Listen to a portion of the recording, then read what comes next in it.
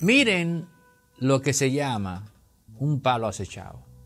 El presidente Luis Abinader va a Estados Unidos y allí se reúne con Kamala Harris, se reúne con la directora de la USAID, Samantha Powers, y se reúne con Nancy Pelosi.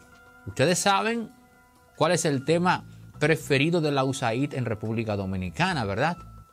El tema migratorio. ¿Pero de quiénes? ¿De los chinos?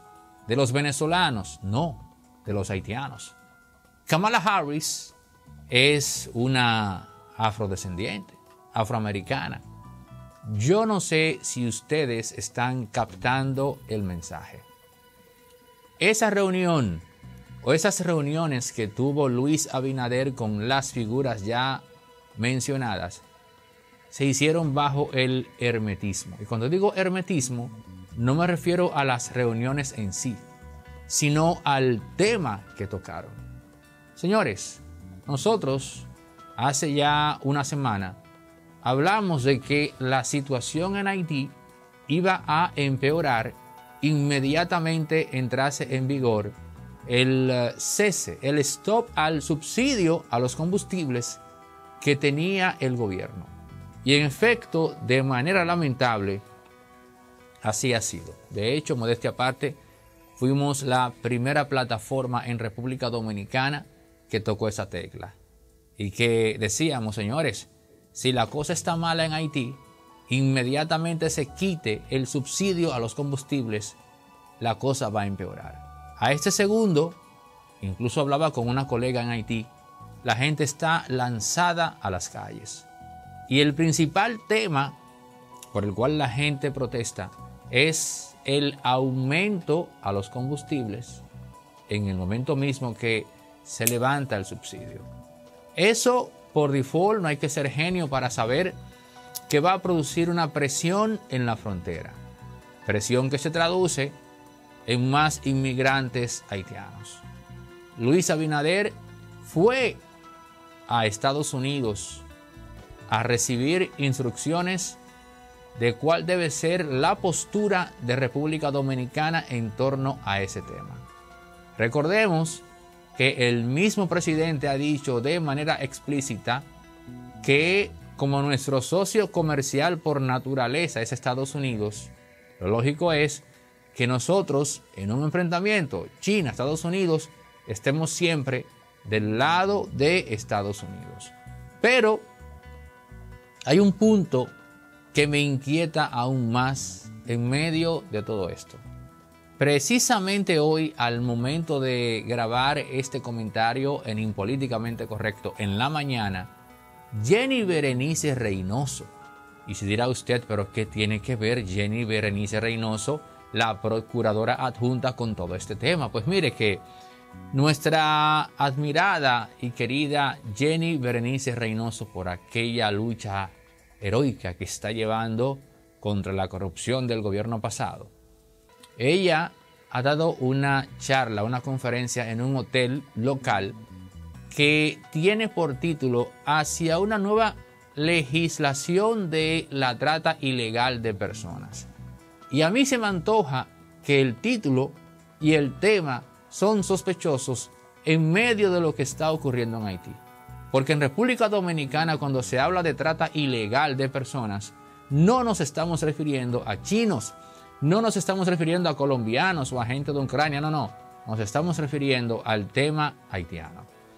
Y yo conecto eso con la reunión que tuvo el presidente con Samantha Powers, la directora de la USAID, que como ya dije, el tema predilecto de la USAID en República Dominicana es la migración haitiana. Y cuando a mí me hablan de hacia una nueva legislación en el tema de la trata ilegal de personas, a mí lo que me llega a la cabeza es una legislación en la cual se cambia el concepto de migrante ilegal por el concepto de refugiado.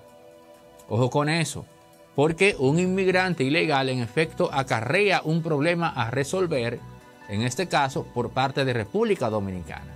Pero cuando ya dejamos de verlo como un inmigrante ilegal fruto de una legislación nueva y pasamos a verlo como un refugiado, se supone entonces que ya no es un problema, ya es una responsabilidad del Estado que lo alberga.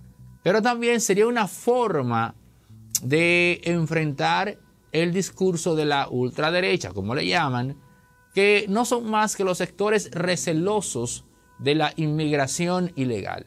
Porque entonces ya el, eh, digamos que el debate, ojo con esta manipulación, se traslada de la inmigración ilegal que afecta el derecho de un Estado a gerenciar su frontera a un tema estrictamente humano, en donde se tiene la oportunidad en un campo más amplio de manipular a quien está tratando de proteger su frontera. Porque ya deja de ser un asunto de Estado para pasar a ser un asunto humano. Entiéndase, de aquel lado está este problema y a nosotros, como congéneres, nos asiste el deber de socorrer a esa gente. Es por ahí por donde yo veo este tema y es por eso que le llamo el palo acechado. Yo no quiero sacar al presidente de la ecuación. Pero existe la posibilidad de que Luis Abinader desconociese a qué iba. Y no me sorprendería porque así es el poder. Al poder le encanta dar palos acechados, porque así le recuerda al que está más abajo por qué se tiene dicho poder. Pero esto último es una conjetura de mi parte. Bien puede ser que en efecto Luis Abinader tuviese conocimiento de que iba a recibir instrucciones de cómo manejarse de cara a esta nueva fase de la crisis haitiana. Y un ejemplo de que nuestro país ha estado recibiendo rayas de, por ejemplo, la ONU, es el hecho de que acá a cualquier otro, otro migrante de cualquier otro país le es sumamente dificultoso poner sus papeles en orden. Mientras que con un haitiano no pasa lo mismo. República Dominicana exhibe unas eh, diligencias tan eficientes cuando se trata de dotar a un haitiano de papeles, que dicho misterio de la única manera que se puede explicar es asumiendo que el país como tal tiene esas directrices. Esto no es un comentario y lo quiero dejar claro. No es un comentario eh, buscando, digamos, enganchar con la empatía de sectores nacionalistas. Esto es un comentario que surge como una necesidad de desahogo, una inquietud, porque amén de que a mí me gusta atar los cabos sueltos, pero tantas cosas en el ambiente en un mismo espacio-tiempo me obliga a mí a poner las cosas en su lugar. El presidente va a Estados Unidos, pero miren el perfil de las personas con las que se reúne. Kamala Harris, afroamericana, Samantha Powers, directora de la, de la USAID y para completar con Nancy Pelosi. Pero en República Dominicana, Jenny Berenice da una conferencia en la cual plantea según el título, un cambio en la legislación de cara a la trata ilegal de personas o migrantes. Cuando todos en este país sabemos que cuando se habla de migrantes nos estamos refiriendo al tema haitiano. ¿Es que acaso se plantea cambiar el estatus de ilegal al de refugiado? Lotedon ya tiene su nuevo ganador de 2 millones de pesos gratis sorteados por motivo de su segundo aniversario y con su promoción el 2 de los cuartos el ganador es de La Vega. Super Lotedon te recuerda que todos los días el agarra 4 tiene 25 millones para un solo ganador agarrando únicamente 4 numeritos. Más información en www.lotedon.com. Energía eléctrica de manera ininterrumpida durante toda la vida para que tu vida cotidiana no se detenga con Ser Solar. Llama o escribe ahora mismo a los profesionales de la instalación de paneles y celdas fotovoltaicas, la energía más amigable y afable de cara al medio ambiente, la energía de Ser Solar.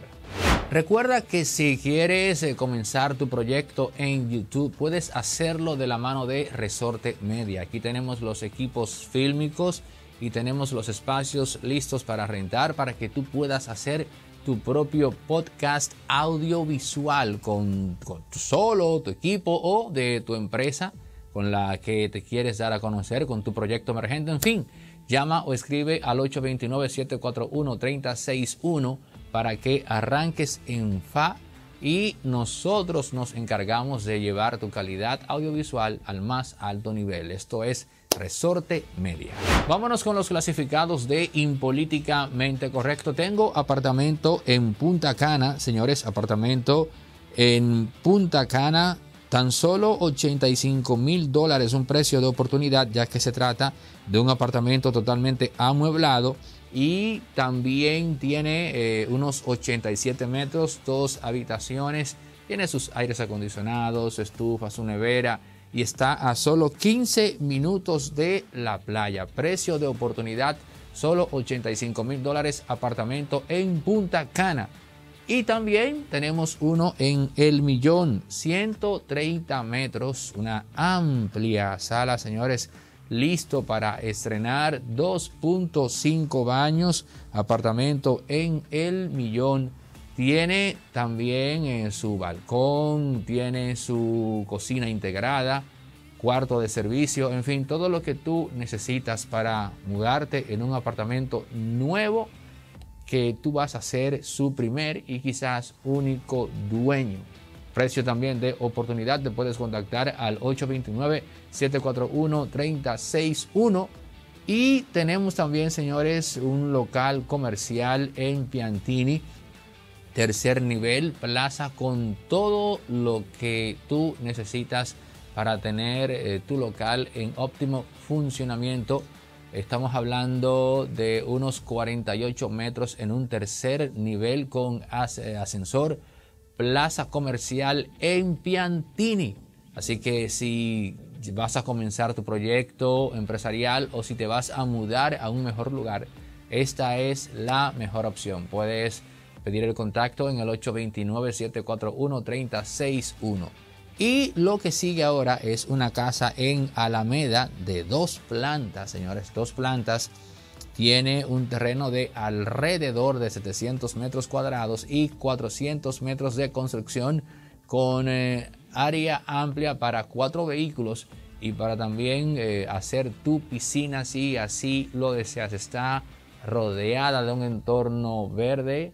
Esto es ya un asunto para tú mudarte ahí y decidir, eh, digamos, que ese sea el espacio en el cual vas a pasar el resto de tu vida. Casa en Alameda extremadamente amplia y espaciosa en la magnitud del confort que tú entiendes y sientes que te mereces. También puedes en el 829-741-3061 pedir los detalles eh, con nuestra agente inmobiliaria María Herrand.